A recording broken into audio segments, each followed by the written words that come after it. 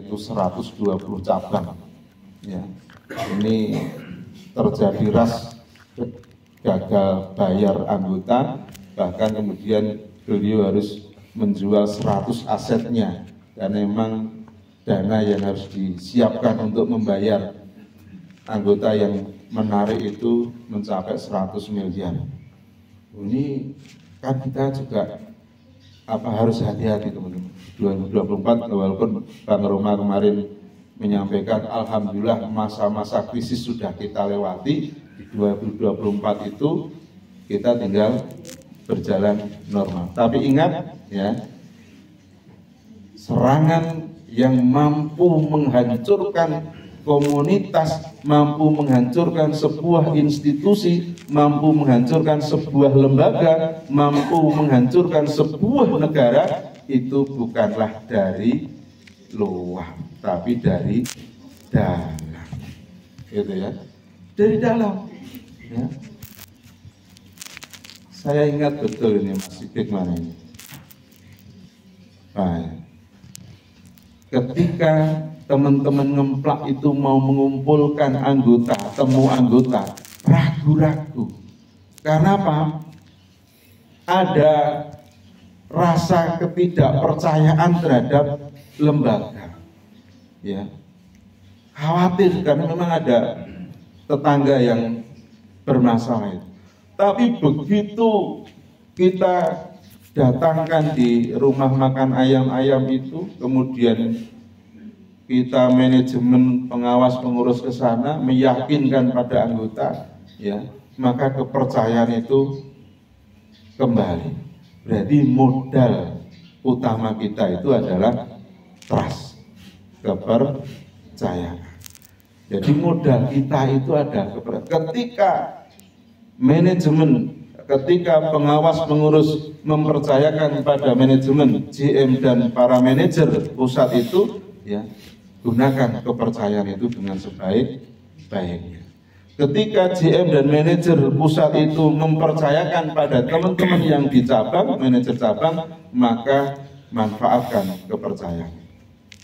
Karena kebijakan yang sudah diambil itu tidak serta eh, apa didasari dengan like and dislike, tapi sudah menggunakan analisis data.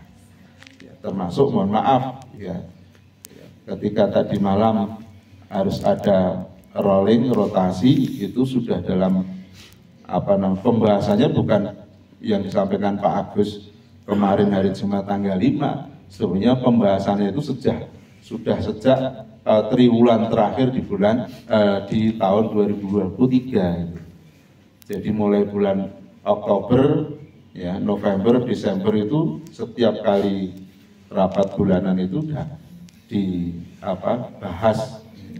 Cuman keputusannya kan baru tanggal 5 kemarin kan. Nah ini amanah kepercayaan itu diterima ya, dengan sebaik-baik. Nah teman-teman, maka di 2024 ya ada eh, apa namanya elemen terpenting yang sesungguhnya ini menjadi modal utama itu adalah SDI panjenengan semuanya, kita semuanya ini adalah uh, apa namanya modal utama di lembaga kita di Insan Mandiri. Mengapa kok SD itu menjadi modal utama? Iya, karena SD ini yang menjadi terdepan dalam jihad di bidang ekonomi syariah. Kalau tidak ada SDM, sebaik apa pun konsep, ya nggak ada yang menjalankan, gitu ya maka kita inilah dipilih oleh Allah Subhanahu wa taala menjadi bagian orang-orang yang jihad visabilillah di bidang ekonomi syariah itu yang slogan kita do syariah ya, kan itu dengan syariah kita akan menjadi ber, berkah nah maka silahkan di 2024 itu menata ya membreakdown apa yang sudah disampaikan oleh Eh, Bang Roma kemarin dari manajemen manajer bisnis untuk di breakdown di cabangnya masing-masing, cabang membreakdown di uh, apa namanya koleganya di kantornya masing-masing. Nah, sekali lagi pengalaman jadikan pelajaran terpenting. Teman-teman kita yang pernah bergabung kemudian terpleset, terjerumus karena pengen uh, apa namanya sesuatu yang lebih, tetapi dengan jalan yang tidak benar, ya akhirnya kandas di tengah jalan. Sebagai penutup, ya, ini nanti mohon maaf kami tidak bisa membersamai sampai relahnya, ya sampai tubingnya, sampai naik jeepnya, ya karena kebetulan saya Pak Toto, Pak Tulus, Pak Haris ini uh, ada acara di kantor pusat di Insan Mandiri di aula juga sama. Ini terkait dengan pembinaan guru dan asatizah keluarga besar Yayasan Anur. Dan kebetulan uh, kita tempatkan di aula atas ya. ini sebagai penutup. Ini baru kita dapatkan tadi malam ketika kita makan malam bersama Ustaz Nur Salim ada pertanyaan dari Pak Ketua kepada beliau. Bagaimana sih resepnya hidup itu bahagia ya.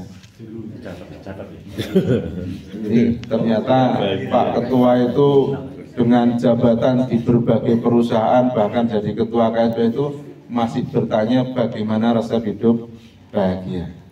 Jawabannya simpel, Ustaz Musal menyampaikan. Ya sederhana saja, ya. Mencontohkan kalau saya pengen makan bakso, ya, saya pengen bakso, kok kebetulan nggak ada, ya sudah ke keinginan itu kita hilangkan, gitu loh. Kita hilangkan. Sederhana itu loh. Pengen sesuatu kok nggak nggak ada, ya sudah keinginan itu dihilangkan, gitu loh. Jalani, gitu loh. Ilmu ikhlas. Nah, sebenarnya larinya ke situ nanti mas. Jadi kita tuh ikhlas uh, menerima apa yang diberikan Allah, kita itu uh, apa namanya konaah, ya, konaah dengan apa yang kita dapatkan. Tetapi bahasa yang beliau sampaikan ya tidak sederhana itu. Artinya apa? Nek kita duduk bagus, aku pengen bakso Neng orangnya usahanya ya ya bakso teko ngendi kan begitu ya. Ya berarti kan harus ada ikhtiarnya. Maka namanya orang pengen itu harus ada ikhtiar dan ada tawakal kan itu. Ikhtiar itu usahanya. Hasilnya itu diserahkan pada Allah Subhanahu wa taala. Maka teman-teman ini juga sebagai manajemen kolbu ya, termasuk manajemen keluarga ya. Ibarat kata nek mohon maaf ya, kalau kita itu belum bisa beli motor, ya ditonton-tonton gini tak gitu ku enek kok malah kok malah utangku kok oke, iya orang sah enek, ya. Fitik bae kan itu. Kanggo aku temenan. kan gitu. Artinya mengukur mengukur kemampuan itu. Ya. Jadi manajemen keluarga itu mengukur kemampuan. Maka ayo ini nek uh, dari manajemen itu kan sudah memformat ya, karena kita mengikuti aturan uh, pemerintah itu kan setidak-tidaknya kita juga setiap tahun itu mengikuti uh, kebijakan UMK itu. Jadi teman-teman yang baru masuk itu kan mengarah karena biasanya kan nanti satu tahun pertama nggak mungkin langsung kita berikan gitu. Tapi bagi teman-teman yang sudah satu tahun lebih itu insya Allah akan mendapatkan minimal UMK kan itu. Itu udah. Nah, apalagi yang senior. Bang Ipul itu jenengan nggak usah tanya. Saya juga nggak tahu masalahnya. Gitu. karena empat kriteria yang disampaikan Bang Roma itu semuanya ada pada diri Bang Ipul gitu enggak kalau saya enggak. Tidak tidak. Oh itu memang luar biasa. Ya, karena saya tahu beliau karena saya pernah diundang beliau ngisi kajian subuh di sana. Gitu. oh ternyata beliau itu loh takmir masjid loh. Takmir masjid. Eh sayangnya beliau sudah punya istri dan punya anak kecuali kalau niat lagi mau nikah lagi ya mungkin yang pengen Selamat.